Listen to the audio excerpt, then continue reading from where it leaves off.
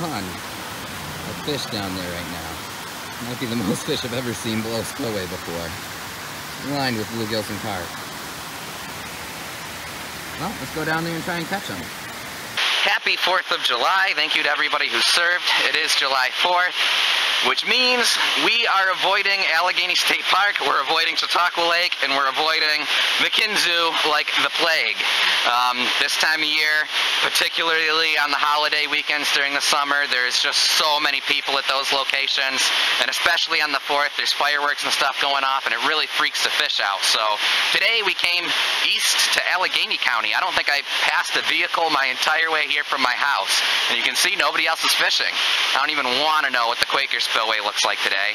But um, yeah, out here in Allegany County, things are a lot more chill, not as many tourists. We're going to start off here at the spillway, but we're going to make our way around the county. From here, we might head up to the Genesee River and then uh, maybe one of the lakes. I see fish just swimming everywhere down here. It's crazy the amount of fish that are in here. Look like mainly carp and panfish, which uh, I'm not really rigged up for. I don't have any live bait with me, but I have some Berkley gulps, so we can try catching the carp. And uh, I've got plenty of tackle for bass. And, uh, and I have confirmed that walleye do indeed hang out down here as well. So um, yeah, we'll fish it for a couple hours, see what we catch fish. Didn't take long. Got it on the board anyway, a little bluegill. Are you a bluegill or a green sunfish? just a little regular little bluegill.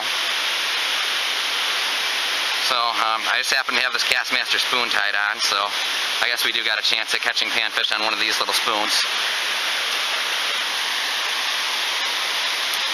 Hmm, went a little bit farther than I wanted it to.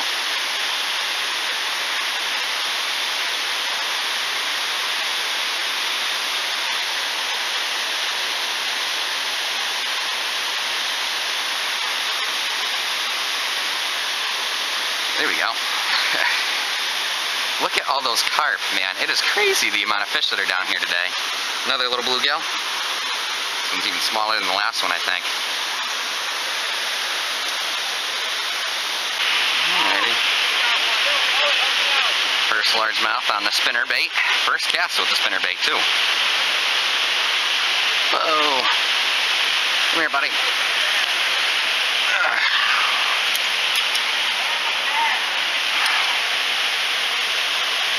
Kids came down as well. Let them go. Just a little guy. Good first cast with the spinner though. Got on something big now. Oh, it came off. Holy cow. I think I must have snagged into a carp is my guess. Oh yeah, there's a scale. yeah, we snagged into a carp just then. yeah, you can see the scale on the hook. That's funny. That thing was taking my drag for a ride. I just broke off on a fish after breaking off on a snag, and I realized the problem here. Check this out. When I pull on these two lines here on my top eyelet, it just breaks. my uh, my top guide has got a crack in the plastic liner, and uh, yeah, my line's just my line's just breaking on me. It's just slicing it like that. So um, so yeah, this rod is officially out of commission today. I put on this little Berkley gulp thing in hopes of trying to catch one of these carp when they swim by, but I have not seen the carp school swim by since uh, since I put this gulp thing on. So I was just kind of having it chilling on shore waiting for one to swim by. Problem is if I drop this in the main water, I just pick up a bluegill in two seconds. There's so many bluegills in here right now. So I guess we're to switch back to throwing lures. Um, this rod is a, a, slow action, so not the best for throwing bass lures. Um, not the kind of bass lures that I want to throw anyway, but um, it's all we've got down here, so I'm going to have to make it work.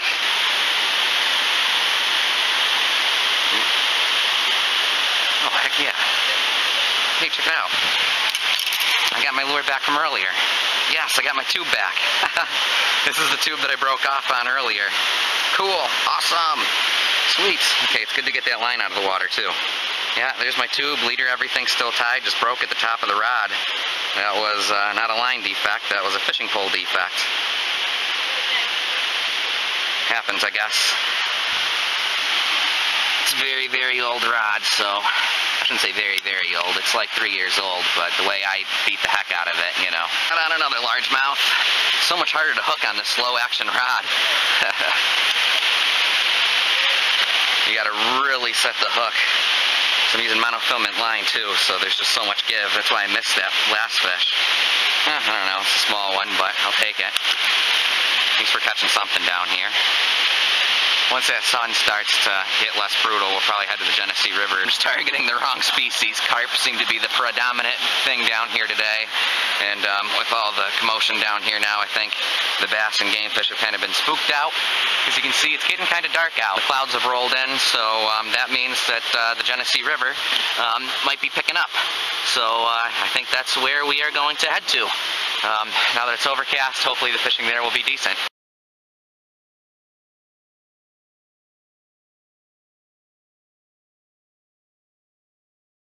Howdy folks, welcome back to Cray Outdoors. Today we are back on Chautauqua Lake. I'm with my buddies Travis and Dustin. Of course this is Dustin's boat, so I guess I gotta give him credit for taking us out here today.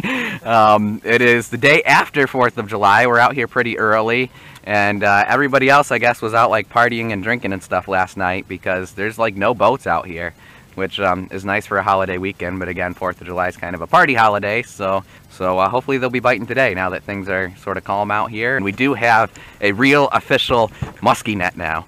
Um, I haven't posted the other video yet, but I already know we're going to get hate for not having a net big enough because that's how musky fishermen are. But we have a real musky net now, so yeah, Dustin finally invested in one. So um, we'll. Travis is actually going to be the net man if uh, if we get on one. Yeah, exactly.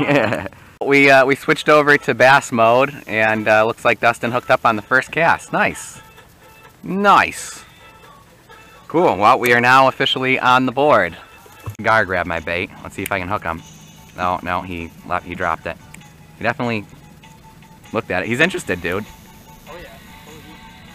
Oh, okay, that time he wasn't interested. The first time he's turned right on it. He turned right on it and and I don't know if he bit it or not. He followed it all the way to the bottom if he didn't bite it. Alrighty, we're finally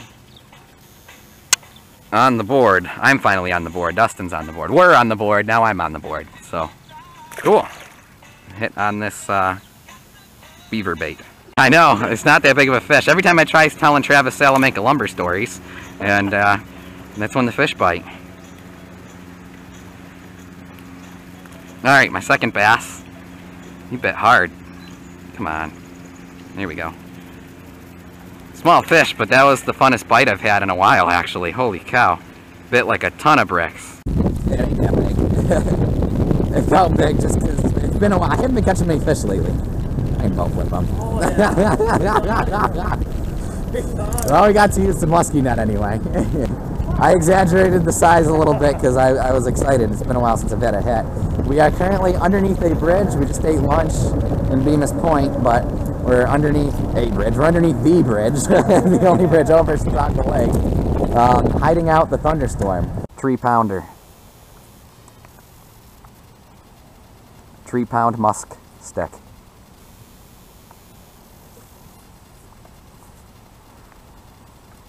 With a leaf trout attached. Multi-species fishing. The bass in this lake do fight, I give them that. Every fish I initially think it's bigger than it is. It's the biggest of the day so far though. For me. Jeepers creepers, dude. This fish is the wiliest fish I think I've ever caught. Normally when you grab them by the mouth, like it puts them in a trance. That one, it just... I, that, that one was he needs to be part of the X-Men or something. Well, we're here to pick up Benji. We lost Travis, now we're picking up Benji. And uh, looks like he's doing just fine without us. Pop he's got a big in, old fat old crappie.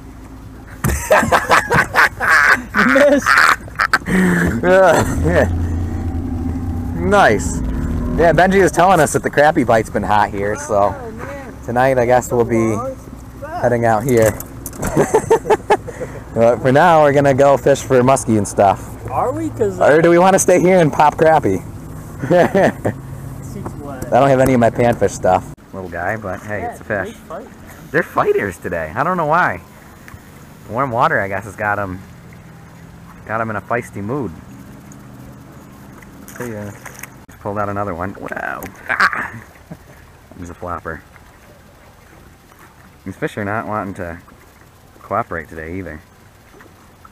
Feisty fish today. See you, buddy.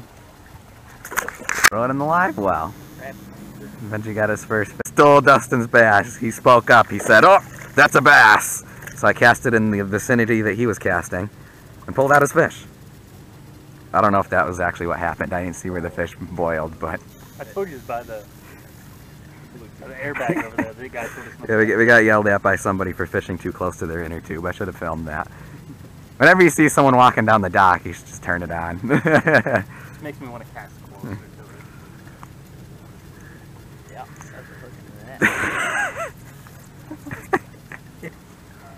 I don't care. I don't have, I don't have to get it off. All right. See you later, Is it on Mr. the Bass. hook or on the dog? All right, Benji with his first bass of the day oh, Twister dad. on the Twister Dad. Do not Google Twister dad.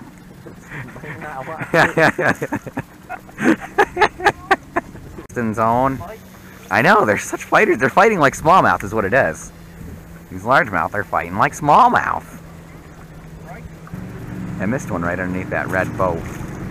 Wish I was filming that. I got this one in in a jiffy. Chiropractor. I ripped that one in. I don't know how big it was. I wanted to make sure I had a good hook set. Fish are fighting very hard today. For whatever reason, it's a hard, hard day of fighting. Yep. I might have to bend this barb down. I'm having a hard time unhooking every one of these fish. Alrighty. See you later, Mr. Bass.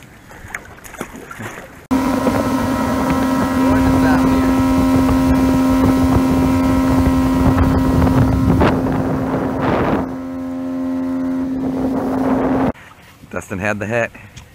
He might hit again, he might hit again. Get back there, get back there. Muskie are stupid, remember. Made it back to the launch point. As you can see, there's some fireworks going off. People are just launching them right in the firework, uh, right in the parking lot, which is kind of funny. But uh, it is the day after 4th of July, so there's fireworks going off all over around the lake, just from random people firing them. Alrighty, well, we're calling it quits here. Benji's taking home this 112 inch crappie that he caught right next to, right off the dock while he's waiting for us, which is kind of funny.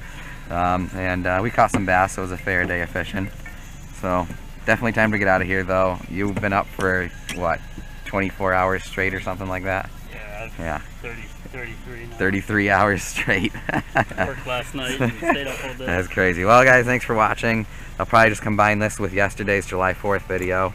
Um, thanks for watching. Be sure to subscribe, and we'll catch you in the next fishing adventure. Unfortunately, we didn't get to shoot any carp today either, but eventually, bow fishing video is going to be coming as well.